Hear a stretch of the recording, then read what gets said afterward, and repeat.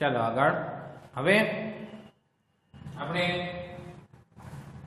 દાખલાઓમાં જોશું. હવે આપણું પ્રકરણ છ, ભાગીદારની નિવૃત્તિ અથવા મૃત્યુ. તો નિવૃત્તિ અગાઉ આપણે જોયું તો ભાગીદારનો પ્રવેશ. બરાબર? અગાઉના લેક્ચરમાં આપણે જોયેલું કે ભાગીદારનો પ્રવેશ, કે જેમાં ચાલુ ભાગીદારી પેઢીમાં કોઈ નવો ભાગીદાર ધંધાની અંદર એન્ટર થાય છે. એટલે કે ધંધામાં આવે છે. તો એને ભાગીદારનો પ્રવેશ કહેવાય. એના અલગ અલગ કારણો હતા. હવે આવે છે ભાગીદારની નિવૃત્તિ. એટલે કે ભાગીદારી પેઢીમાંથી જે ચાલુ ભાગીદાર છે, એમાંથી કોઈ ભાગીદાર નિવૃત્ત થાય છે અથવા તો કોઈ કારણસર ભાગીદારનું મૃત્યુ થાય છે, તો એવા સંજોગોમાં ભાગીદારી પેઢી છે, તો એમાં કંઈક ફેરફાર આવે છે. જેમ કે સૌથી પહેલો ફેરફાર જોશો તો નફા નુકસાનની બાબતમાં આવશે જેમ પ્રવેશની અંદર આપણે ત્યાગની ગણતરી કરતા તેવી રીતે અહીંયા લાભની ગણતરી કરશું. કારણ કે જૂનો ભાગીદાર છે, એનો લાભ, એનો ભાગ છે, એ નવા બાકી રહેતા ભાગીદારોને મળશે. એટલે તો લાભનું આપણું સૂત્ર થઈ જશે કે લાભનું પ્રમાણ બરાબર નવો ભાગ માઇનસ જૂનો ભાગ. બરાબર? એના માટેના જે અલગ અલગ કન્ડિશન છે પણ આપણે અગાઉ જોયેલી. તો હવે એ ભાગીદાર નિવૃત્ત થાય છે તો કોઈ કારણસર એનું મૃત્યુ થાય છે. તો કઈ કઈ બાબતો એની આવે અને કઈ કઈ બાબતો ઉપર અસર થાય એ બાબતો તમારે નોંધવાની રહે બરાબર? હવે જેમ કે ભાગીદાર છે, નિવૃત્ત ભાગીદાર, એને આપણે નિવૃત્ત થાય છે અથવા મૃત્યુ થાય છે, કોઈ પણ સંજોગ હોય, ત્યારે આપણે એને ધંધામાંથી નીકળતી રકમ હોય એને અથવા તો એના વારસદારોને આપવી પડે. હવે આ રકમ ધંધા પાસે એ સમયે તરત જ હાજર ન હોય, તો? તો એ રકમને આપણે શું કરવાનું તો કે લોન તરીકે ધંધાની અંદર રાખવી. એટલે કે જે ભાગીદારને આપણે ચૂકવવાના છે, એ રકમ આપણે લોન તરીકે રાખવી. જેથી કરીને આપણે ત્યાં તાત્કાલિક ચૂકવણી ન કરવી પડે, પરંતુ જો લોન તરીકે રાખેલી હોય તો આપણા નિયમ પ્રમાણે, ભાગીદારી કરારના નિયમ પ્રમાણે ભાગીદારે પેઢીને આપેલી લોન પર જો લોનના વ્યાજ અંગે કોઈ ચોખવટ ન હોય, તો લોન પર છ ટકાના દરે વ્યાજ ચૂકવવું પડે છે. બરાબર? છ ટકાના દરે વ્યાજ ચૂકવવાનું થાય. તો લોનની બાબતમાં એ બાબત ખાસ ધ્યાન રાખવાની છે કે જો આવી રીતે કોઈ લોન રાખવામાં આવી હોય અને જો એના ઉપર વ્યાજની ગણતરી કરવાની થાય તો છ ટકા લેખે વ્યાજની ગણતરી કરવાની રહેશે. બરાબર? એટલે આ રીતે લોનના વ્યાજની ગણતરી કરવાની થાય. તો એવા સમયે ભાગીદારને જો પેઢીને જે લોન આપેલી હોય, એના ઉપર વ્યાજની ગણતરી કરવાની થાય. એટલે વ્યાજની ગણતરી એના ઉપર છ ટકા લેખે કરવાની થશે. એટલે છ ટકા લેખે વ્યાજની ગણતરી કરવી પડે. એ બાબત ખાસ ધ્યાન રાખવી કારણ કે ગર્ભિત હવાલા તરીકે આવી શકે છે છુપા હવાલા તરીકે પણ આવી શકે છે. તો બાબતનું ધ્યાન રાખી અને લોનના વ્યાજની ગણતરી છે એ કરવાની થશે. આગળ વધીએ. તો હવે જો એના વિશેની આપણે થોડીક માહિતી આપણે લઈ લીધી. હવે દાખલા બાજુ આગળ વધીએ. એક એવો એક્ઝામ્પલ જોઈ લઈએ તેરમું કે જેમાં આપણને એક માહિતી આપી છે.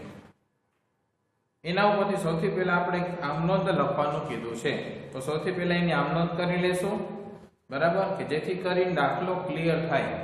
બરાબર? આમનોંધ કરે ને આમનોંધ છે મૂળ વસ્તુ છે. જો એ ક્લિયર હોય તો દાખલો ક્લિયર થાય. એક્સ વાય અને ઝેડનું પાકું સ્વરૂપ આપેલું છે આપણને, જેમાં એના મૂડી ખાતા, સામાન્ય અનામત, ભાગીદારની લોન વાય અને ઝેડ ભાગીદાર છે એની લોન છે. લેણદારો કારીગર વળતર અનામત અને મિલકતો આપેલી છે, નફા નુકસાન ખાતું આપેલું જાહેરાત ઝુંબેશ ખર્ચ આપેલો છે. હવાલામાં શું કીધું છે? એક્સ વાય ને ઝેડ ત્રણ જેમ ત્રણ જેમ બે ના પ્રમાણમાં નફા નુકસાન વેચી લેતા ભાગીદારો હતા. પછી એક ચાર સોળ ના રોજ વાય નિવૃત્ત થાય છે. બરાબર? એક્સ વાય અને ઝેડ એનું પ્રમાણ ત્રણ જેમ ત્રણ જેમ બે હતું. વાય નિવૃત્ત થાય છે.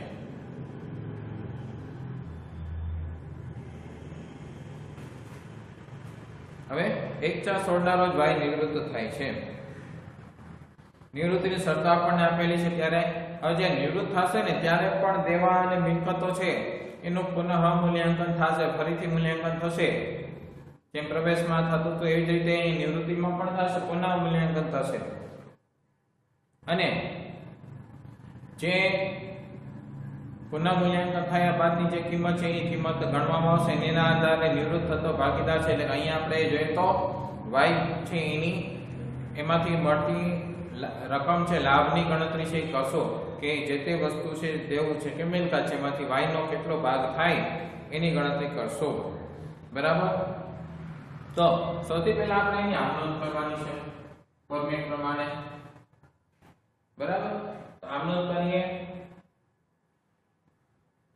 હવે આમનોંધ કરીએ ને એટલે જો એમાં આપણે જેટલી પણ સૌથી પહેલા ચૂકવણી કરવાની હોય, એ ચૂકવણી કરી દઈએ કે જેથી કરીને પછી આપણે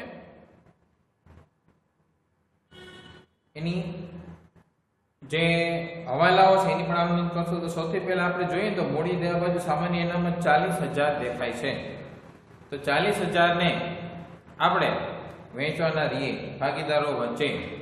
કારણ કે એમાંથી આપણે પછી ભલે વાયનો જ ભાગ શોધવાનો છે, પણ અત્યારે તો ત્રણેય ભાગીદારો વચ્ચે વેચવાના છે. એટલે કે ચાલીસ હજારને ત્રણ જેમ ત્રણ જેમ, બે એના પ્રમાણમાં વેચવાના રહીએ બરાબર? તો ત્રણ જેમ ત્રણ જેમ બે માં વેચવાના રહીએ તો આપણે આમનો શું થાય? તો વેચવાના છે એટલે કે એને આપવાના છે એના ખાતે જમા થાય. તો પેલી આમ નોંધ આપણી સામાન્ય અનામત વેચવાની છે એટલે સામાન્ય અનામત ખાતે ઉધાર. ઉધાર રૂપિયા કેટલા છે? તો કે હજાર.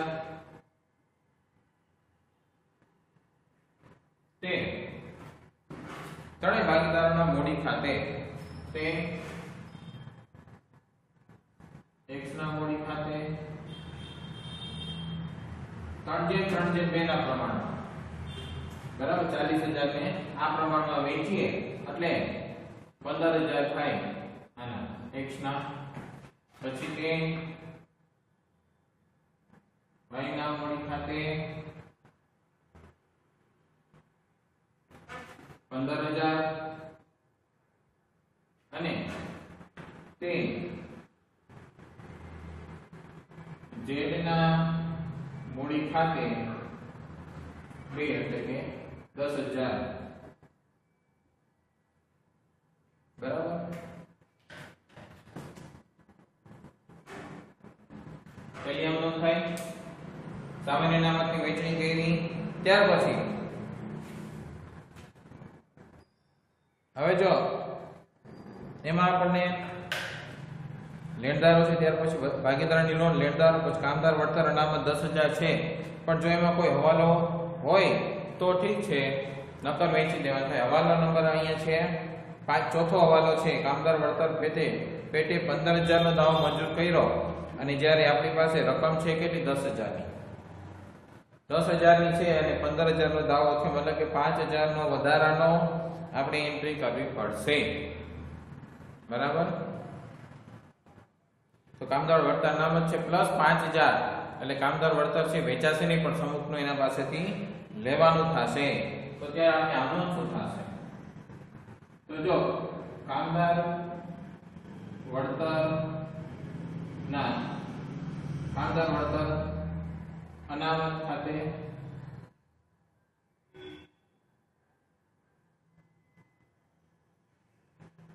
જે આપણે કાચા સરાયમાં રકમ એવી છે દસ હજાર. પછી હવે અહીં દાવો આપણો જો કેટલાનો છે? સ્વીકાર કર્યો પંદર હજારનો પછી કાચા સરવૈયામાં કેટલી રકમ છે? જો કાચા સરવૈયામાં અનામત આપેલું છે આપણે કાંદાર વળતર અનામત દસ હજાર તો દાવો પંદર નો છે છે દસ હજાર તો પાંચ હજાર ઘટ્યા. આની જોગવાઈ ક્યાંથી થશે? તો કે પુનઃ મૂલ્યાંકન ખાતેથી. તો અહીંયા પુનઃ મૂલ્યાંકન ખાતે ઉધાર થાય જેમ આના ખાતે ઉધાર છે ને? કામદાર વળતર અનામત દસ હજાર ઉધાર એટલે પુનઃ મૂલ્યાંકન ખાતે ઉધાર પાંચ હજાર. પુનઃ ખાતે ઉધાર પાંચ હજાર. તે તેના છે કામદાર વળતર કામદાર વળતરના દાવા ખાતે. રકમ પંદર હજાર. પાંચ હજારની વધારાની જોગવાઈ કરવાની થઈ ત્યાર પછી. હવે પાંચ હજાર છે એ વધારાની જોગવાઈ કરવાની થાય એટલે કે પાંચ હજારની ગણતરી આપણે અહીંયા વધુ કરવાની થઈ એટલે પુનઃ મૂલ્યાંકન ખાતેથી જે આ તો ગણતરી થશે. એટલે પુનઃ મૂલ્યાંકન ખાતે આપણે ઉધાર નહીં નાખ્યા ત્યાર પછી ત્રીજી એન્ટ્રી આપણે કરશું. મિલકતો બાજુ જોઈએ. તો સૌથી પહેલા પાઘડી છે. તો ચોપડે દર્શાવેલી પાઘડી હોય જૂની પાઘડી કહેવાય. તો જૂની પાઘડીનું શું કરવાનું? તો કે જૂની પાઘડી જૂના ભાગીદારો છે જૂના પ્રમાણમાં વેચી દેવાની. જૂના એટલે કે એકસો ઝેડ ત્રણેય ભાગીદારો થયા. તો જૂની પાઘડી, જૂના ભાગીદાર, જૂનું પ્રમાણ. જૂની પાઘડી ચાલીસ હજાર છે. જૂના ભાગીદારો એકસો ઝેડ છે અને જૂનું પ્રમાણ સંજીવ બે છે. તો એને વેચી દેવાની. વેચી દઈએ એટલે પાઘડી એને આપીએ છીએ એટલે એના મૂડી ખાતે ઉધાર. અને પાઘડી મિલકત છે, જાય છે. ઓછી થાય છે તો હોઈ જાય છે પૂરેપૂરી. એટલે જાય તે જમા. તો ત્રણેયના મૂડી ખાતે ઉધાર. x મૂડી ખાતે ઉધાર. ત્રણ જેમ ત્રણ જેમ બે ના પ્રમાણમાં ચાલીસ હજાર ને વેચી એટલે પંદર હજાર.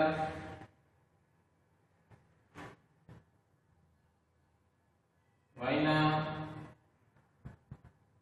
મૂડી ખાતે ઉધાર પંદર હજાર.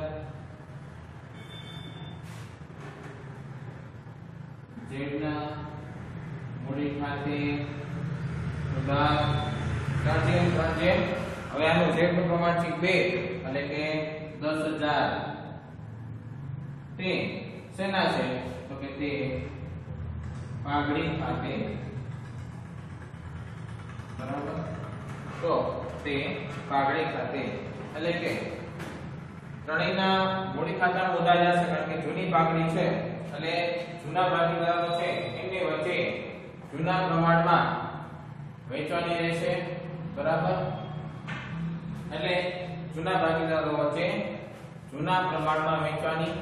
તો ત્રણ જેમ ત્રણ જેમ બે ના પ્રમાણમાં વેચી, એટલે કે પંદર હજાર પંદર હજાર અને દસ હજાર છે, એ ભાગીદારો વચ્ચે વેચવાના થાય છે. તો ત્યાર પછી, હવે આગળ. શેની એન્ટ્રી કરશો તો કે જમીન મકાન યંત્ર, સ્ટોક, દેવાદાર, એની કોઈની એન્ટ્રી ન હોય. હવે જો હોય જાહેરાત ઝુંબેશ ખર્ચ, આપણે અગાઉ પણ વાત થયેલી પ્રવેશ વખતે. કે જાહેરાત ઝુંબેશ ખર્ચ હોય તો ભાગીદારોના મૂડી ખાતામાં ઉધાર બાજુ એની એન્ટ્રી થાય. પાઘડીની અને જાહેરાત ઝુંબેશ ખર્ચની અને નફા નુકસાન ખાતાની ખોટ હોય તો એ ત્રણ વસ્તુ એવી છે કે જેની નોંધ ભાગીદારોના મૂડી ખાતામાં ઉધાર બાજુ થાય. તો જાહેરાત ઝુંબેશ ખર્ચ એની પણ ઉધાર બાજુ નોંધ થશે. જાહેરાત ઝુંબેશ ખર્ચ છે કેટલો તો કે સોળ હજાર. સોળ હજારની આપણે વહેંચણી કરશું. બરાબર ભાગીદારના મૂડી ખાતે ઉધાર એટલે કે x ના મૂડી ખાતે ઉધાર સોળ હજાર ને ત્રણ જેમ ત્રણ જેમ બે એટલે કે સોળ હજાર છે તો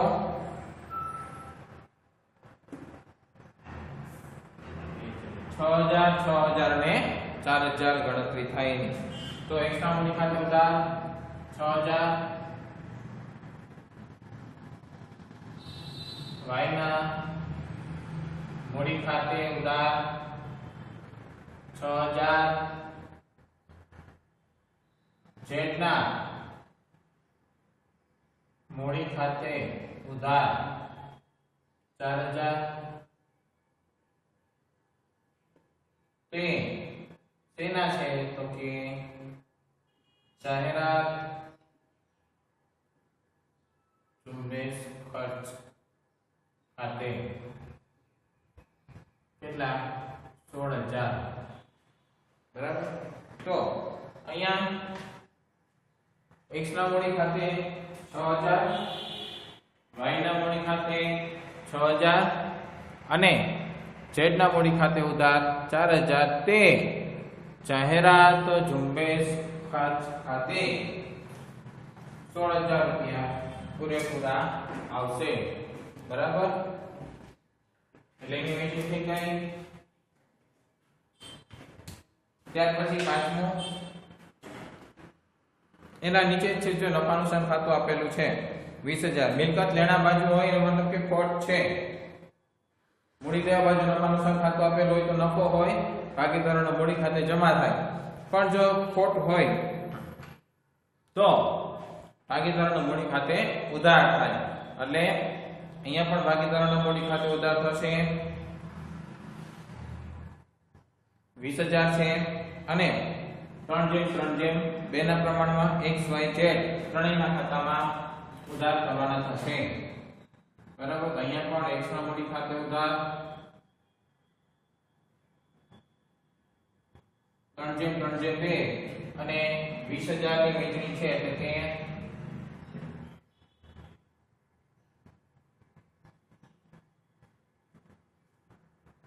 સાત હજાર પાંચસો. X ના મૂડી ખાતે પછી વાયના મૂડી ખાતે. ઉધાર સાત હજાર પાંચસો, એના પણ. Z ના મૂડી ખાતે ઉધાર. પાંચ હજાર.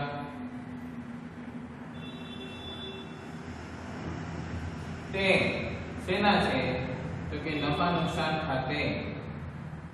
તે નફા નુકસાન ખાતે વીસ હજાર. બરાબર? તો નફા નુકસાન ખાતાની પણ અહીંયા વેચણી આપણે કરી દીધી.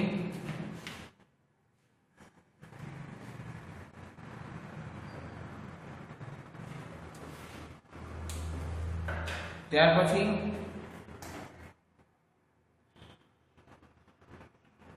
હવે જો આપણી પાકુસર હોય છે એની વિગતો પૂરી થઈ ગઈ. એટલે કે એમાં જે જે વેચણી કરવાની હતી, જે જે નુકસાન હતો, એટલે કે ટૂંકમાં જેની જેની વેચણી ભાગીદાર વચ્ચે થાય એમ હતી એની વેચણી આપણે કરી નહીં હવે શું બાકી રહી છે? તો કે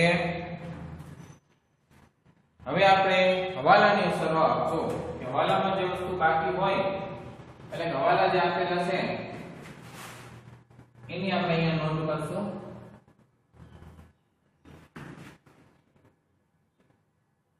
હવાલા છે, હવાલા પ્રમાણે એની નોંધ લખશું હવે. પહેલો હવાલો છે, જમીન અને મકાનની કિંમત બે લાખ વીસ હજાર ગણવી. બરાબર? તો જમીન અને મકાનની કિંમત છે કેટલી? તો કે એક લાખ નવ્વાણું હજાર છે. ગણવાની કેટલી છે? બે લાખ વીસ હજાર. એટલે કે એકવીસ હજારનો વધારો છે. બરાબર? હવે હવે હવાલાવાળી સર છે ને સીધી આપણે પુનઃ મૂલ્યાંકન ખાતામાં આપતા હોય છે, એટલે ભાગીદારો વચ્ચે નહીં. પણ પુનઃ મૂલ્યાંકન ખાતામાં એની અસર આપશું. છઠ્ઠો આમનો દાખલો એ છે. હવે વધારો છે. એટલે કે એકવીસ હજાર નો વધારો છે તો પુનઃ મૂલ્યાંકન ખાતામાં જમા થાય અને જમીન મકાન ખાતે ઉધાર થાય. એટલે જમીન મકાન ખાતે ઉધાર એકવીસ હજાર. તે ક્યાં જશે તો કે પુનઃ મૂલ્યાંકન વધારો કે ઘટાડો એ જશે પુનઃ ખાતે પણ ફેર એટલો પડશે કે વધારો હોય તો પુનઃ ખાતું જમા થશે અને મિલકતની કિંમતમાં ઘટાડો હોય તો પુનઃ ખાતું ઉધાર થાય. બરાબર? તે પુનઃ ખાતે એકવીસ હજાર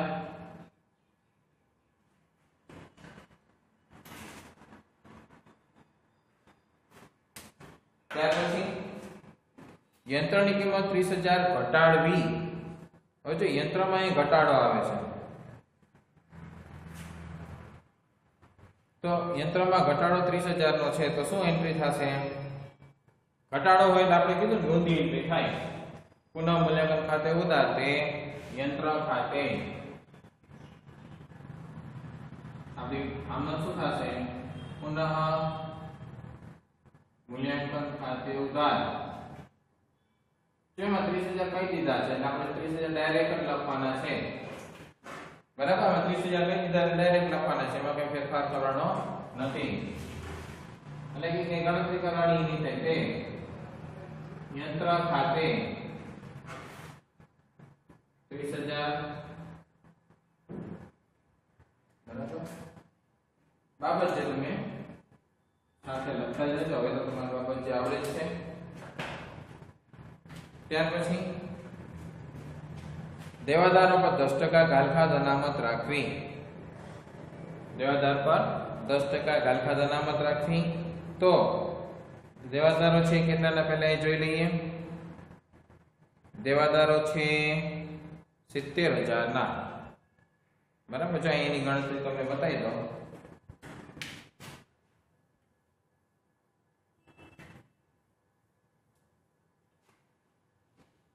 હવે જે દેવાદારો સિત્તેર હજારના છે. હવાલાઓ કે છે કે ગાલખા અનામત દસ ટકા રાખી આ હવાલામાં કીધું છે. જો હવાલા લખી નાખી. દસ ટકા એટલે કે સાત હજાર રાખવાની છે. પણ પાકા શ્રેણી અંદર કઈ ગાલખા અનામત આપેલી છે. બરાબર? કાચા સોરી ગાલખા કહેવાય એને. જૂની કહેવાય પાંચ હજાર તો આપેલી છે જૂની પાંચ હજાર આપેલી છે, નવી સાત હજાર રાખવાની છે. તો વધારે કેટલા રાખવાના તો હવે બે હજાર આપો એટલે સાત થઈ જાય. પાંચ તો છે સાત કરવાના છે. તો બે હજાર વધારો એટલે સાત થઈ જાય. તો નવી જોગવાઈ છે તો આ જ રીતે પુનઃમૂલ્યાંકન ખાતામાં ઉધાર બાજુ જશે બરાબર? નવી જોગવાઈ તો આપણે આનું શું થશે? પુનઃ મૂલ્યાંકન ખાતે ઉધાર કારણ કે જોગવાઈ છે, ખર્ચ છે કે નુકસાન છે, તો પુનઃ મૂલ્યાંકન ખાતું ઉધાર થાય. ઉધાર કેટલા?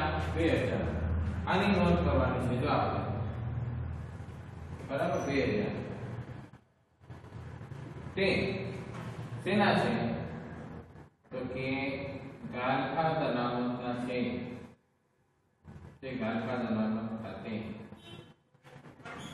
2000 બરાબર? પુનઃ મૂલ્યાંકન ખાતે ઉધાર તે ગાલખા અનામત ખાતે નવી જોગવાઈ કરી છે, વધારાની જોગવાઈ કરી એટલા માટે. ત્યાર પછી કામદાર વળતર પેટે પંદર હજારનો દાવ મંજૂર કર્યો. એની આપણે આમનોંધ પહેલા જ કરી લીધેલી હતી. બરાબર? કામદાર વળતરની આપણે બીજી જ આમનોંધ કરેલી હતી બરાબર? તો એ આમનોંધ થઈ ગઈ છે. એટલે એની આમનોંધ કરવાની આપણે નો આવે. પછી?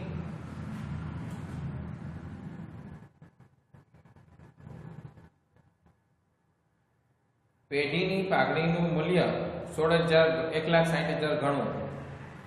પછી, વાયના ભાગની પાઘડીનો હવાલો એક્સ અને ઝેડના મૂડી ખાતે નાખો. એટલે કે એક્સ અને એક્સ અને ઝેડનું જે મૂડી ખાતું છે, એના ખાતામાં નાખવો એટલે કે હવે નવું એક લાખ સાઠ હજાર છે. તો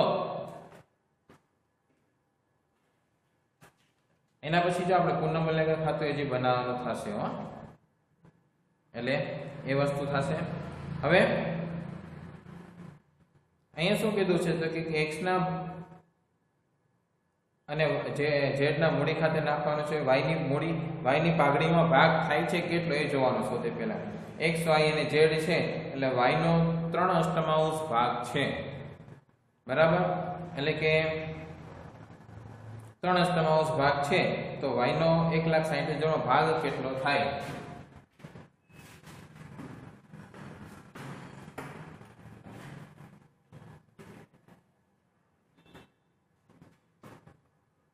જો અહીંયા y ની પાઘડી નવી એક લાખ સાઠ હજાર છે. એમાં y નો ભાગ ત્રણ અષ્ટમાંશ છે. બરાબર? ત્રણ જેમ જેમ બે એટલે ત્રણ અષ્ટમાંશ છે. એટલે કે સાઠ હજાર રૂપિયા વાયના ભાગની પાઘડી થાય. જે એક્સ અને ઝેડ કેવી રીતે આવશે? તો એના લાભના પ્રમાણમાં આપશે. કારણ કે જૂના ભાગીદારો જ આપશે આ સાઠ હજાર. કયા પ્રમાણમાં આપશે? લાભના પ્રમાણમાં. લાભના પ્રમાણ માટે આપણે લાભ, આના માટે લાભનું પ્રમાણ શોધવું પડે. લાભનું પ્રમાણ કેટલું છે? છે નહીં, તો શોધવું પડે. તો લાભના પ્રમાણનું સૂત્ર શું છે? નવો ભાગ માઇનસ જૂનો ભાગ. નવો ભાગ કેટલો છે? તો કે જો આપણને છઠ્ઠા હવાલામાં આપેલો છે, નવો ભાગ આપેલો છે કે x અને જેટલું નવ નફા નુકસાનનું પ્રમાણ એક જેમ એક રાખો. બરાબર? X ને જેટલું નવું પ્રમાણ એક જેમ એક જૂનું પ્રમાણ. તો કે એનું જૂનું પ્રમાણ ત્રણ જેમ ત્રણ જેમ બે માં x અને z એટલે ત્રણ જેમ બે નું પ્રમાણ થાય. બરાબર? એટલે જો પહેલા જૂનું પ્રમાણ જુઓ. જૂનું પ્રમાણ x અને z નું. X નું કેટલું છે? ત્રણ અષ્ટમાંશ જેમ z નું બે અષ્ટમાંશ આ જૂનું છે. પછી નવું પ્રમાણ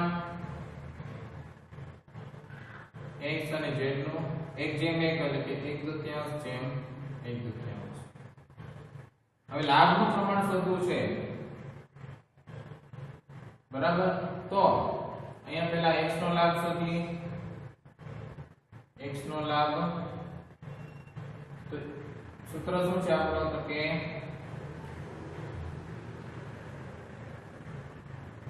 નવો ભાગ માઇનસ જૂનો ભાગ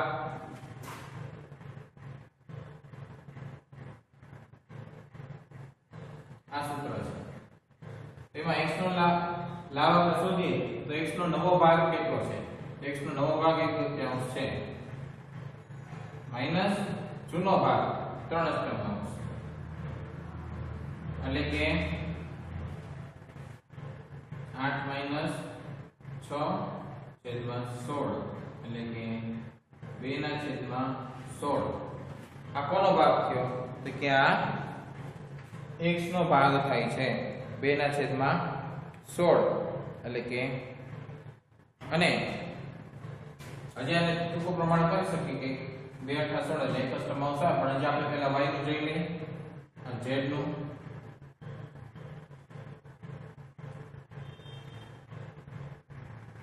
z નો લાભ કેટલો છે? તો કે જૂનો ભાગ એક તૃતીયાંશ, નવો ભાગ નવો ભાગ એક તૃતીયાંશ, જૂનો ભાગ બે અષ્ટમાંશ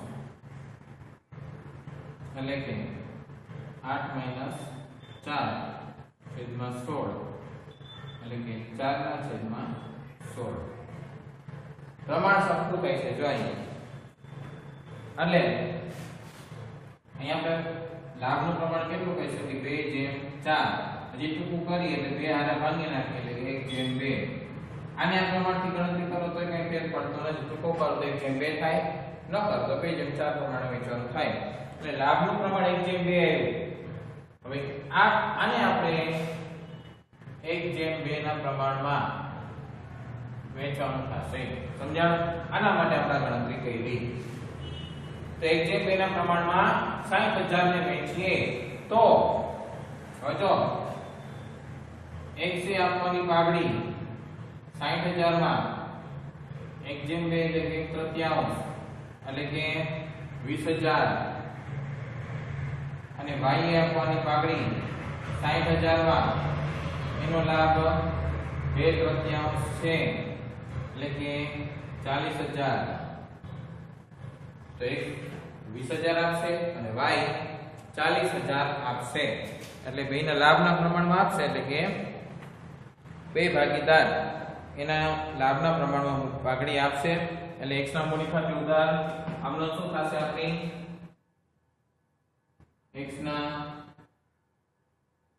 મૂડી ખાતે ઉધાર વીસ હજાર.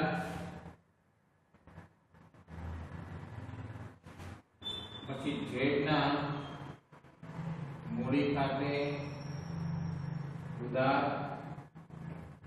ચાલીસ હજાર. તે આ કોને આપવાના છે? પાઘડી કોની છે એને આપવાના કોને છે? તો કે y ની પાઘડી છે તો y ના મૂડી ખાતે આ રૂપિયા જશે, બરાબર? એટલે કે તે વાયના મૂડી ખાતે સાઈઠ હજાર બરાબર? પાઘડીની અસર ખાસ ધ્યાનમાં રાખવી જરૂરી છે. કારણ કે જો પાઘડીની અસર આવશે, આવડશે તો જ દાખલો છે આગળનો ક્લિયર થશે. પહેલા નિવૃત્ત થતા ભાગીદારની પાઘડી શોધવાની, પછી લાભનું પ્રમાણ શોધવાનું. લાભનું પ્રમાણ મળી જાય એટલે જે આ રકમ આવી હતી, એને ભાગીદારો વચ્ચે વેચી દેવાની અને જે રકમ આવે એ નિવૃત્ત થતા ભાગીદારને આપી દેવાની એટલે એના મૂડી ખાતે જમા અને બાકીના જે બે ભાગીદારો છે, એના મૂડી ખાતે ઉધાર. એટલે એના માટે એનું લાભનું પ્રમાણ શોધવું પડે. લાભનું પ્રમાણ છે એ શોધી લો એટલે તમારે એ એ પ્રમાણ છે એની એની સાથે જે નિવૃત્ત થતો ભાગીદાર છે એની પાઘડીની ગણતરી કરવાની થાય. બરાબર?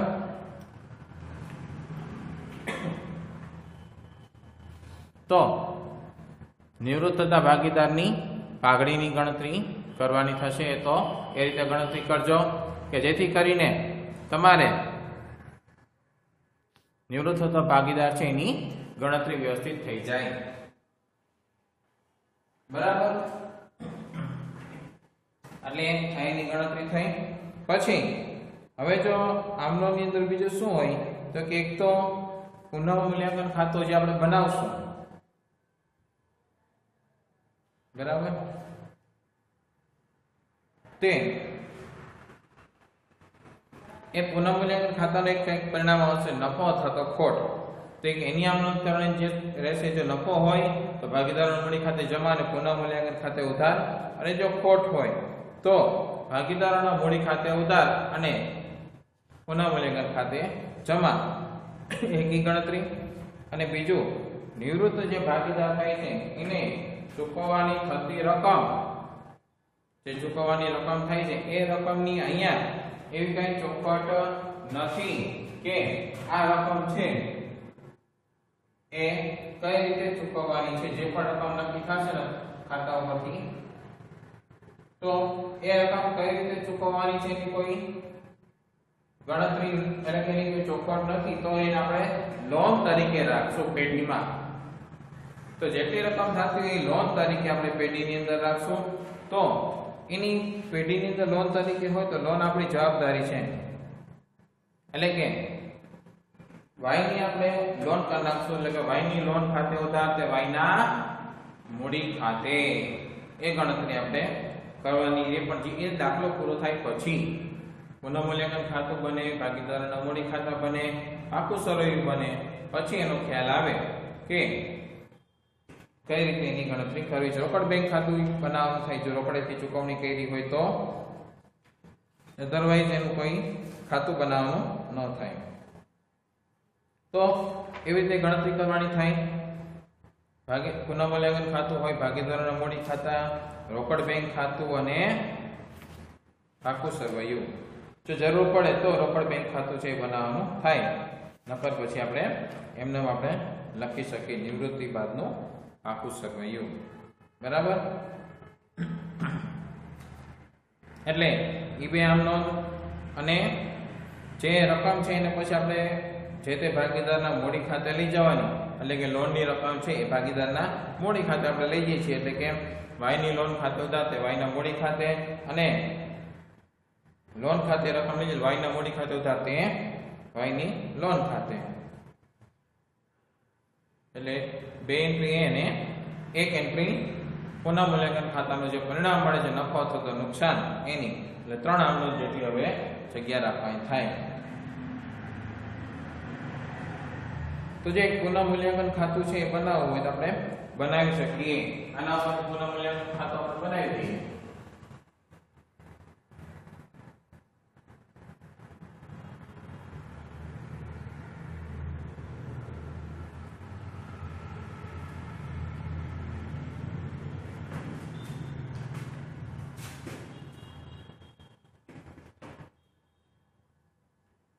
પુનઃ મૂલ્યાંકન ખાતાનો આપણને અંદાજ છે જ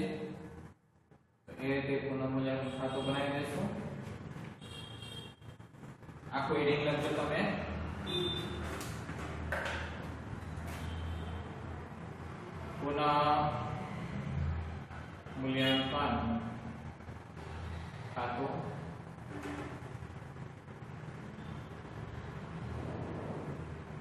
જેમ બનાવી છે એ રીતે અમે પ્રવેશ ભાગીદારનો પ્રવેશ હતો, બાકીનું ચેપ્ટર એની અંદર બનાવતા હતા.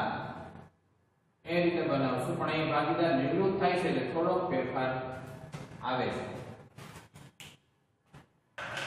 તો સૌથી પહેલા જે વધારાનો ઘટાડો છે એ લખી નાખવાનો. જેમ કે, જમીન મકાનમાં એકવીસ હજારનો વધારો હતો, તો જમા બાજુ લખવાનો, જમીન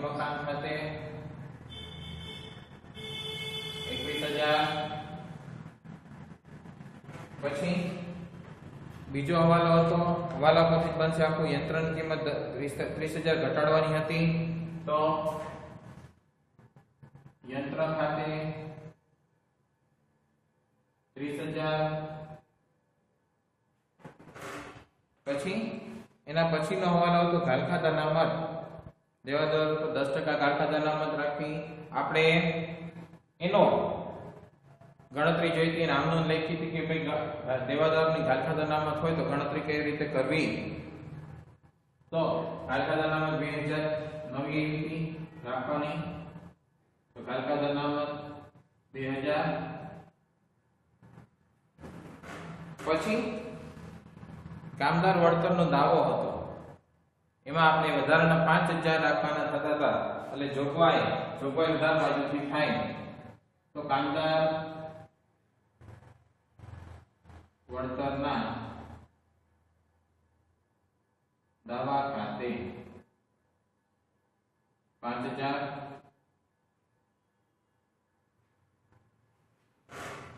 બરાબર? એટલે કે હવે એનો સરવાળો આપણે કરીએ તો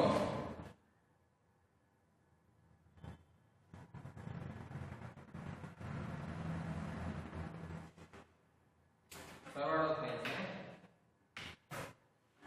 સાડત્રીસ હજાર. કારણ કે આ બાજુ એકવીસ હજાર જ છે, એટલે સરવાળો આ બાજુ વધે છે. સાડત્રીસ હજાર. ઘટે છે કેટલા? તો કે પંદર હજાર. બરાબર? તો પંદર, સોળ હજાર. સાડત્રીસ છે, એટલે કે સોળ હજાર. તો સોળ હજાર છે શું કહેશું? કાચી એટલે જે આપણે પુનઃમૂલ્યાંકન ખાતું છે, એટલે કે ભાગીદારોના મૂડી ખાતે કઈ જશે તો કે ખોટ આને ખોટ કોણ ભોગવશે? તો કે ભોગવશે તો ત્રણેય ભાગીદાર, x, y અને z. કારણ જે ભેગું થાય છે પણ ખોટમાં એનો ભાગ તો આવે જ છે. બરાબર એટલે ખોટ આપણે અહીંયા સોળ હજાર છે. એને ત્રણ જેમ ત્રણ જેમ બે ના પ્રમાણમાં, જૂના પ્રમાણમાં વેચવાની રહેશે. એટલે કે છ હજાર છ હજાર અને ચાર હજાર ખોટ આવશે. X ની છ હજાર વાયની છ હજાર અને z ની ચાર ભાગીદાર ભલે નિવૃત્ત થાય છે ભાઈ, પણ એ જ્યાં સુધી ધંધામાં હતો, ત્યાં સુધીમાં જે ધંધાનું પરિણામ છે એને ભોગવવાનું છે. જો આની બદલે નફો થયો તો એને નફામાં ભાગ આપવો પડે.